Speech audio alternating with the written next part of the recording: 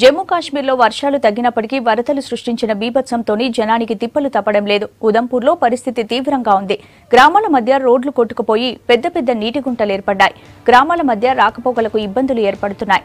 పనుల మీద పక్క ఊళ్ళకు వెళ్ళలేకపోతున్నామంటున్నారు గ్రామాల ప్రజలు. చాలా రోజుల సంధి స్కూళ్ళకు పోవడం ఇబ్బందిగా మారిందంటున్నారు చిన్నారులు. ఎన్నిసార్లు అధికారులకు చెప్పినా ఎవరూ పట్టించుకోవడం లేదంటున్నారు స్థానికులు. కొన్నిసార్లు నీటి గుంతల్లో పడిన సందర్భాలున్నాయని చెబుతున్నారు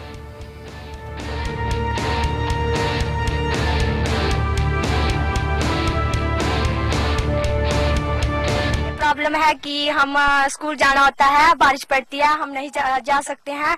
इसलिए हम हम जल्दी से रास्ता बनाना चाहते हैं कि हमारा रास्ता बन जाए। हमारा रास्ता कोई भी बनाने में हमारी मदद नहीं करता है और कि हमारा रास्ता जल्दी से बनाए और हम स्कूल पहुँच पाए। आज भी बारिश थी हम स्कूल नहीं पहुँच पाए इसीलिए कि जल्दी से हमारा रास्ता बनना चाहिए। तो इधर हमारे यहाँ पे ये बहुत बड़े तालाब बन चुका है। ये रास्ता हम इधर से अपने बच्चों को स्कूल छोड़ने जाते हैं इधर आगे तक। तो यहाँ पे हमें निकलना नहीं होता है। बहुत गंदा रास्ता बन चुका है। डर लगता है इधर से कहीं बच्चे को उठा के गिर जाए। तो इधर कोई आता भी नहीं है देखने के लिए। और भी बहुत सारे मोहल्ले के लोग हैं, उनके बच्चे भी यहाँ पढ़ने जाते हैं। तो कोई छोड़ने आते हैं रोज पर। खुद भी हमें भी डर लगता है कि हम अपने बच्चों को कैसे उठा के इधर से जो बड़े बड़ों के पत्थर थे, वो इन्होंने उखाड़ दिए। और ये बनाई सड़कें हमारे लिए बना लिए खड्डे इन्होंने।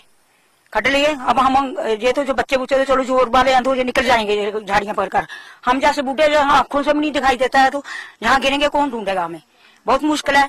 हमने ज़मीन बाड़ी है हमारी इधर, वो हम नहीं आ सकते हैं। गाय, भैंस रखी है, गोबर के बाहर लगा देंगे हम ढेर। कहाँ से, इधर कहाँ हम